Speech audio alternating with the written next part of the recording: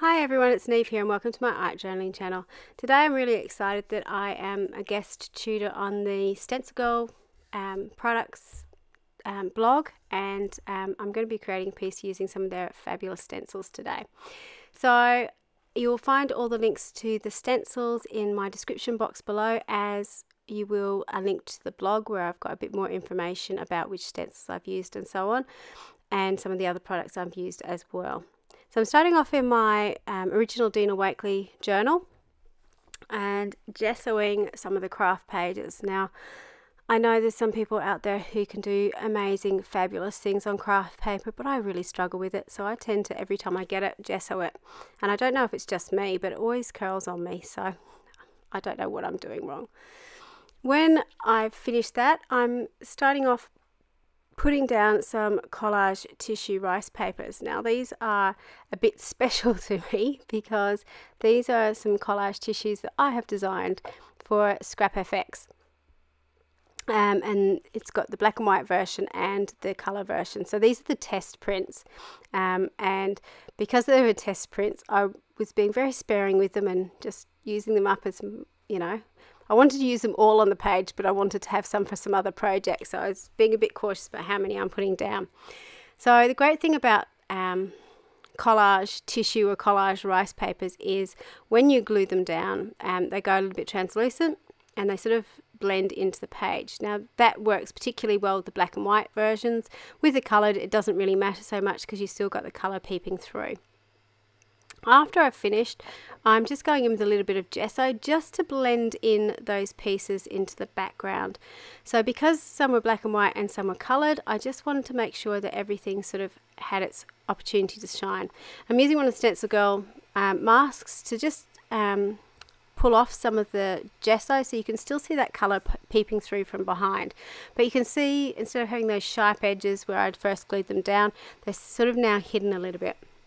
So now I'm going in and putting some magenta paint um, across my page and then I'm wiping it off again using the stencil and you can sort of see the gesso coming off through. So this is creating a load of layers in my artwork and while you won't see much of the original stencil you will see the texture that it leaves behind. So it's a really great way to add interest to your background without um, taking away from the final piece, but giving your eye something interest, interesting to look at. When I'm doing this sort of technique on my art journal pages, I tend to use the same stencil over and over again because that repetition is really important in, in your artwork. And you can sort of see the effect that's start, starting to build up. So I just did that with turquoise and now I'm going in with some fuchsia paint just to get a little bit more colour on the page. Now one of the things that you will notice is once I have finished wiping away my um, excess paint, I then dry my paint with my heat tool. The reason for that is you need to have your um, background layers sealed or um, dry before you do some wet paint on top because when acrylic paint is dry it is permanent.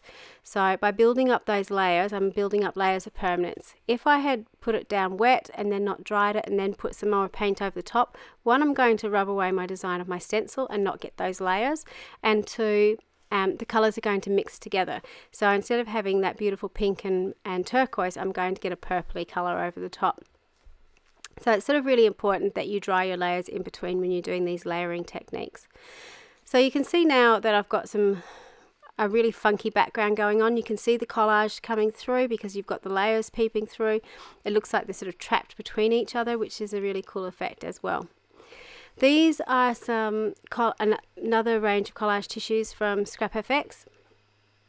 And these are designed by the very, very talented Michelle Logan, who um, is one of the designers for Scrap FX and they're just beautiful. And as soon as I saw them I thought oh yeah I have to use those on something. So again I'm just using some matte gel medium and gluing them down onto the page. And you can see that they go slightly translucent that you can see the background coming through from behind which is the reason why I love using these sorts of collage tissues particularly the black and white versions because you can see what's going on behind. Um, your beautiful work doesn't get lost because I wanted to bring some of that um, coloured rice paper into the foreground again, I decided to use it as um, a way to anchor my figures to the bottom of the page. So if I hadn't done this, I would have had figures floating in in the sky, which always looks a little bit odd. So having some way to ground them is really, really important. Now that could be with using collage tissues like this, or it could be just painting a stripe of stripe of paint across the bottom of your page, but just some way to sort of make sure it's all sat in one place. I'm now going in with my Stabilo All pencil. So this is a water soluble pencil and it's great for just doing sort of random mark makings on your page and little scribbles and so on. On this page I haven't water activated it but you can do and that gives you a really cool shadow as well on your page. What I'm doing now is going in with this unfinished stencil again from um, Stencil Girl products and drawing through it using my paint pen because I only actually wanted, well using some more of this stencil later on. But I wanted the words in disguise. So I'm doing a little bit of um, stencil shopping in this because I wanted to sort of write out a phrase underneath, but it wasn't all on one page. So I was going through lots of the different stencils to find out what I wanted to write. So I think most of these stencils are um, Carolyn Dube stencils or this one definitely is. And she's got lots of word stencils, which are just fabulous. I use them so often in my artwork. So I've just used some washi tape to um, block off some of the words above and below where I wanted to have the UR. Because all those words are quite close together, I didn't want to have other words on my page. So using a little bit of washi really helps to um, make sure you're only getting what you want. I wanted to have the unfinished as well on this page because the figures that I had seem a little bit unfinished um, to me, so it's sort of a work in progress. And I like the You Are in Disguise um, because it just appealed to me. One of the figures has um, No One But Me written on it as well, so um, it's all sort of that mysterious, unfinished. You don't quite know what's going on on the page, which really, really appealed to me. When I finish doing this, I think at the moment I'm busy trying to find a quote to put on the page because it was very heavy on the left hand side and I wanted to balance it up on the right hand side. To find quotes when I'm doing my work, I tend to go to Pinterest to have a look up and I use some keywords to find it. So I think I used um, unfinished or um, masked emotions or something like that as a keyword. I can't remember the exact keyword I used to find this quote. Um, but I came up with She Remains an Unfinished Piece of Art, which I just loved um, because it echoed this entire page to me. And to do my writing on this, I have been doing this quite a bit recently is extending the long strokes and just making everything um, not even, not regular. So it totally goes against what I teach my children at handwriting at school.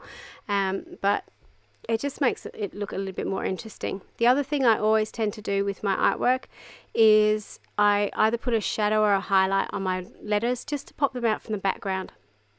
So on the white ones I used a black pen and on the black words I use a white pen. For me I always do it on the bottom left hand side of all my letters. I find if I've got a bit of a rule in my head that it, it always goes on the bottom left hand side I can keep it consistent. It doesn't matter what side you put it on, you can put it on the top right, just be consistent the whole way through.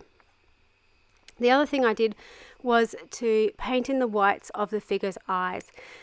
Now, even though they're really sketchy eyes, just by putting that little bit of white in their eye automatically draws your eye to where the eyes are on the page. It makes your your eye recognize the figure as a face or has a face on it, which is really important.